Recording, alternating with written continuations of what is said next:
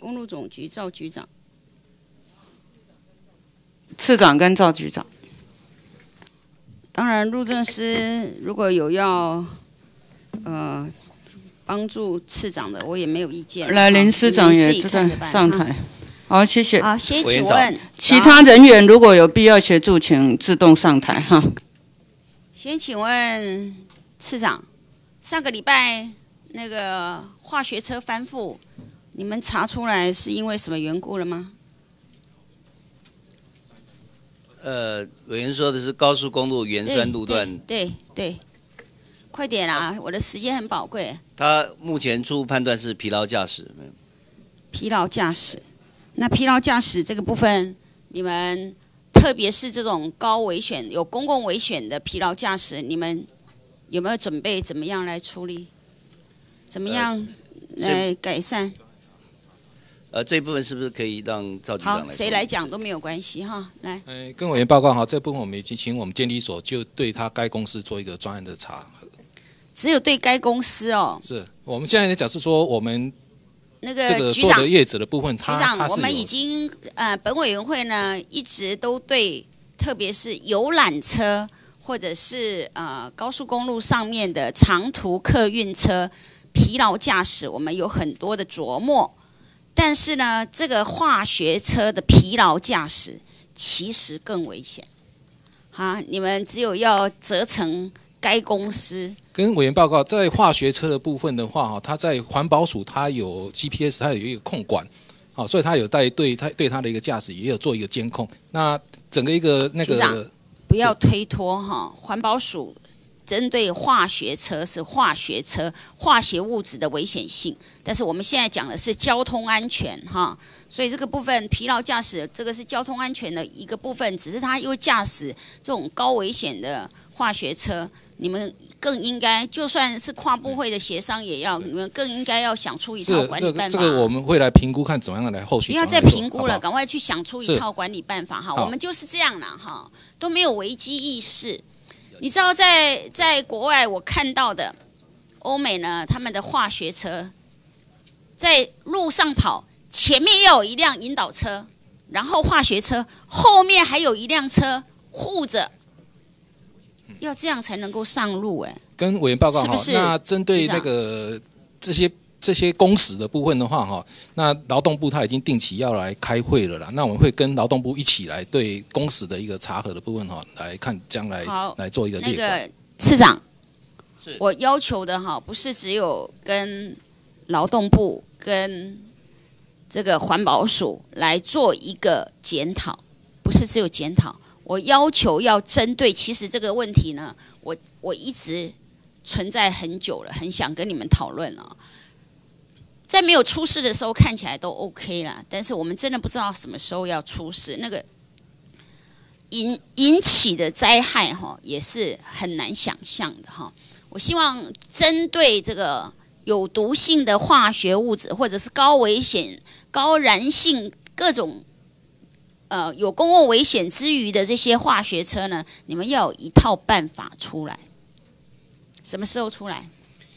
呃，跟委员报告一下，这个关于它的工业这种危险物品，或者是有毒性的化学物品，它认定的标准等等，还有其他主管机关共同来认定哈。这一部分我们是不是邀集相关部会来做一个呃标准认定以后，我们再就交通安全的部分来做一次检讨，有必要的话我们来做相关的规定。我要时间，我要时间，不要浪费我的时间哈。我认为每一辆化学车呢，就是一颗炸弹。那到底这个炸弹的威力有多大呢？其实因各种化学物质不同而不同。全世界的进步国家几乎都对化学车有一套管理办法，我们到现在为止还在检讨，还不知道，都已经翻了一辆了。好，什么时间可以出来？我们六个月之内来定定相关规则。可不可以再短一点？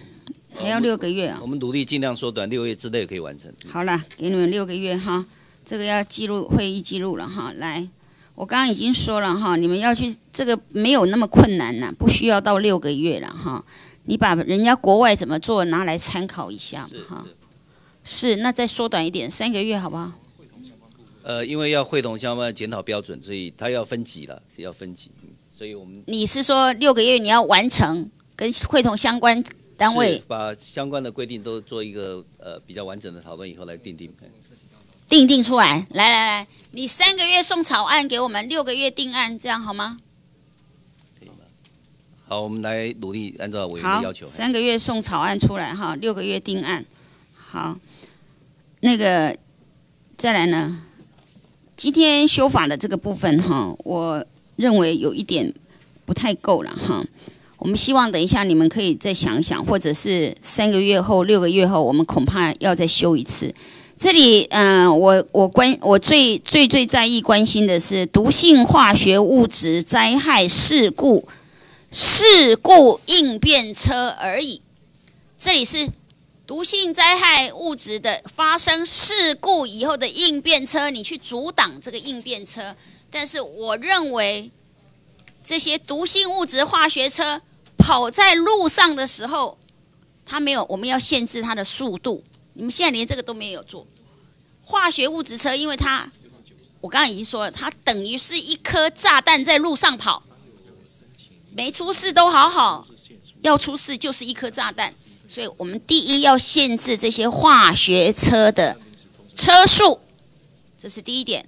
给你们几个重点，这个国外的去拿来抄就好了啦，不需要呃，到公委员报告现行规。定里面，这些运送危险物品，它需要临时通行证，这个已经有个案来审查，而且它在高速公路上是限速是九，十以下。不要在个案审查。我认为这些化学车要有统，至少你除了个案以外，你真的要有一套相当的这个准则出来哈。我刚刚说的第一点哈，第二就是怎么样让它安全，是不是要像国外的前后都有车子来保护哈，提醒的作用哈。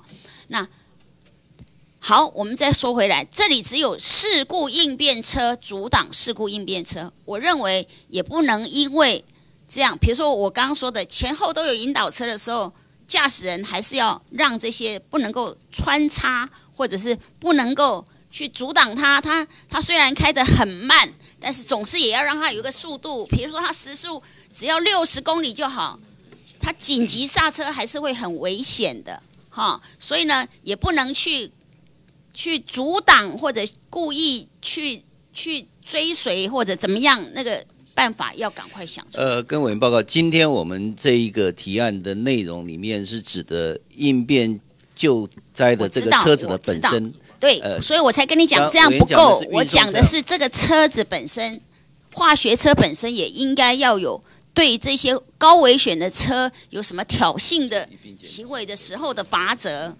你懂我的意思啊哈呃？了解委员意思，我们是不好是，并在这个刚才那个要一并三到六个检讨哈单只能一，并检讨？好好，赶快哈，这个其实早就该做的事情了哈。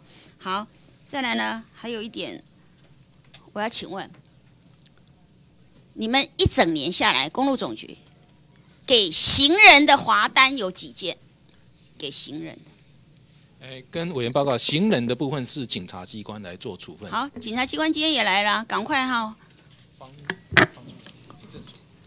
嗯，不要浪费我的时间，好不好？那我们那我要问下一个吗？警察方署长，方署长，内政部警政署的方养林方组长。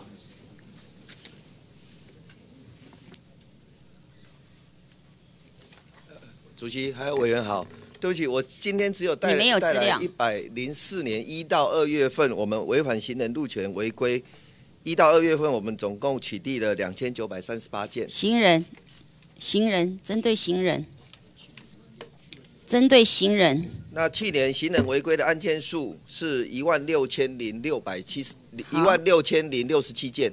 都是什么样的太阳？行人，呃，行人违规主要的太阳都是任意穿越车道，或者是这个不一号字指示行驶。好，来，我现在要讲的是，再来，我再请问总局长哈，公路总局，是红灯闯红灯，罚多少？